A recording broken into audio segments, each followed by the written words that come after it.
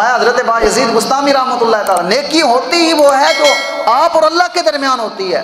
حضرت با یزید گستامی کہنے لگے، لوگ روز ہاتھ چومنے، روز چومتے ہیں، مجھے بڑا اللہ کا ولی کہتے ہیں۔ کبھی ایسی جگہ پہ رخ کر جاؤں جہاں کوئی بھی جاننے والا نہ ہو، میں ہوں اور اللہ تعالیٰ کی ذات ہو۔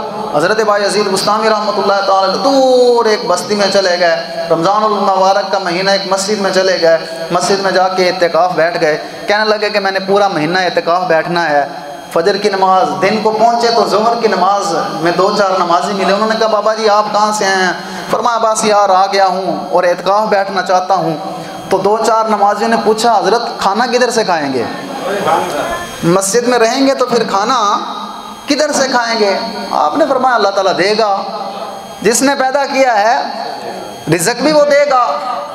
اثر ٹائم اور نمازی آئے۔ انہوں نے بابا جی کو دیکھا، نئے تھے، پوچھنے لگے، بابا جی کدھر سے آئے ہیں؟ کہنے لگے کہ جناب بس اتقاء بیٹھنا ہے۔ تو انہوں نے بھی یہی پوچھا، سوال کیا۔ کہنے لگے کہ بتاؤ بابا جی پھر کھانا کتوں کھاؤ گے؟ آپ نے فرمایا، یار رب دے گا، اللہ تعالیٰ کی ذات ہے دینے والی۔ مغرب ٹائم، پھر ایک دو نمازوں نے پوچھ لیا۔ آپ نے کہا جناب یہ تو پوچھنے کا سلسلہ ہی جاری ہو رہا ہے کہ جناب کون کھانا دے گا، کون نہیں دے گا۔ حضرت بھائی عزیز گستامی رحمۃ اللہ تعالیٰ علیہ فرماتے ہیں کہ میں نے پتہ کیا تو مسجد کے ساتھ جو گھر تھا نا وہ یہودی کا گھر تھا۔ آپ نے پیغام بھجوایا کہ اگر آپ کی کوئی نوکرانی ہے تو مجھ سے پیسے لے لو۔ مجھ سے پیسے لے لو اور صبح دو روٹیاں بھیج دیا کرو اور شام کو دو روٹیاں بھیج دیا کرو۔ انہوں نے کہا جی ٹھیک ہے۔ حضرت بھائی عزیز گستامی رحمۃ اللہ تعالیٰ علیہ دوسرا دن ہوا۔ تو آپ انتظار کرنے لگے کہ آج کوئی مجھ سے پوچھے کہ کھانا کدھر سے کھاؤ گے؟ حضرت بھائی عزیز گستامی رحمۃ اللہ تعالیٰ علیہ زہر کا وقت ہوا تو ایک دو لوگوں نے نمازی نے پوچھا۔ انہوں نے کہا حضرت بھائی عزیز سے پوچھنے لگے، بابا جی کھانا کدھر سے کھاؤ گے؟ رہو گے تو مسجد میں۔ آپ بھی انتظار کر رہے تھے کوئی مجھ سے پوچھے۔ آپ نے فرمایا، نمازیوں، سارے بیٹھ جاؤ، میں تمہیں بتاتا ہوں۔ سارے نمازیوں کو اکٹھا کیا اور فرمایا کہ میں، یہ جو یہودی کا گھر ہے، اس کو پیسے دے دیے ہیں، دو روٹیاں صبح بھی آ جائیں گی اور دو شام کو بھی آ جائیں گی، لیکن آ جاؤ، سارے آ جاؤ۔ سارے چپ ہو گئے۔ انہوں نے کہا، بس ٹھیک ہے جی کھانے کا بندوبست ہو گیا۔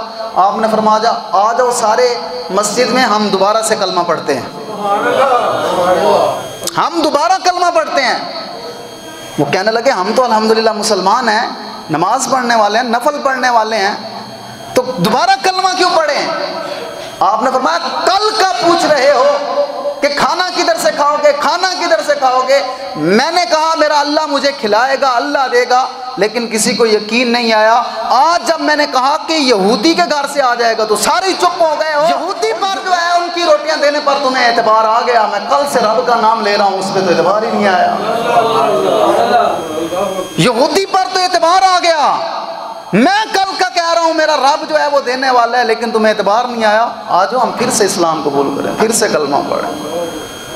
یہ انسان ہے وہ کبھی رب کی رضا پر خوشی نہیں ہوتا۔ کسی سے پوچھ لیں، اگر کسی کی پندرہ ہزار تنخواہ ہے، وہ کہے گا کہ میری جناب تیس ہزار تنخواہ ہو۔ تیس ہزار ہو جائے تو مزہ ہی آ جائے۔ تیس ہزار والے سے پوچھ لیں تو وہ خوش ہے؟